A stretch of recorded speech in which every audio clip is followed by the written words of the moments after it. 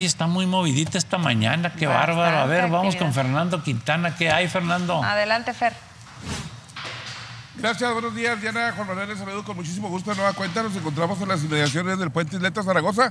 De pasadita, pues aquí en vivo, ¿verdad? Para no utilizar el video eh, de los puentes. Aquí estamos, ahí está llegando más o menos a la tienda de conveniencia del letrero rojo que empieza con Del y termina la otra palabra en Río. Hasta llega la fila para ir al Paso, al Paso, Texas. Y hablando de las filas, el día de ayer se volvió a dar un caso, y este fue durante la noche, en donde no, no, no seguimos entendiendo que nos tenemos que formar cuál debe de ser para ir al Paso, Texas.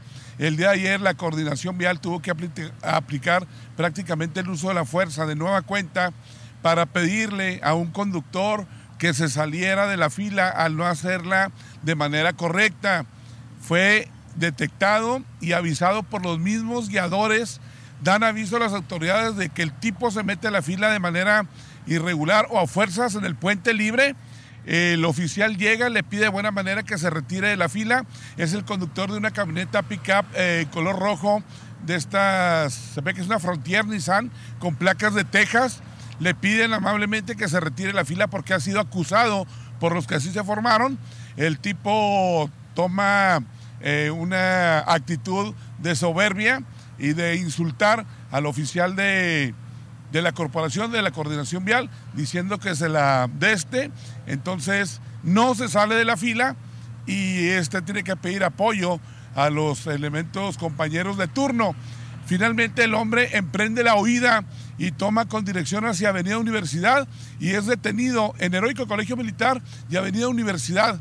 Eh, es detenido y llevado a las instalaciones de coordinación vial, donde tendrá que responder por las multas que se aplican en este caso y que nos han dicho tanto el comandante Mejía como el profe Tapia que pueden llegar a ascender hasta los 8 mil pesos.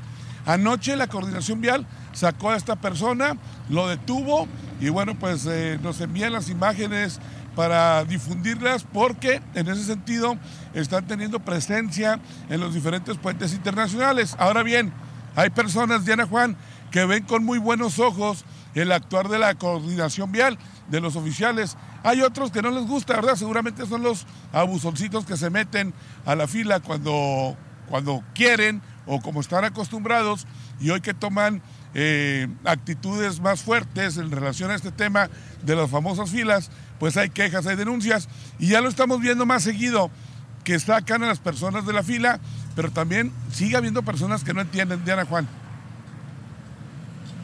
Efectivamente. Siguen los abusones. Siguen los abusones. Y por cierto, la mayoría de los conductores abusones, la mayoría, no todo, pero la mayoría, son de Texas. Mira, pues las placas de Texas en Lo que no pueden hacer allá, vienen y lo hacen aquí. Qué bueno que están aplicando estas medidas, era necesario. Da mucho coraje que vayas en la fila del puente haciendo tu. Que tú sí te hayas tomado tu tiempo. Que estés hasta atrás de la fila, llegando poco a poco, para que llegue un tipo y de la noche a la mesa se con meta. Permiso, con traigo toda prisa. La, con toda la soberbia, ¿no? Claro. Claro, no se vale el que se levanta temprano, el que se prevé, el que planea, el que se prepara, guardándole el lugar prácticamente para el que llegue que se mete, no se vale. Entonces vamos a estar muy pendientes de, los boletines. Prepotencia. Vamos a estar muy pendientes de los siguientes boletines que sigan emitiendo coordinación vial. Y acá eh, han dicho, es que en, la, boleta no dice que meterse en la fila es infracción.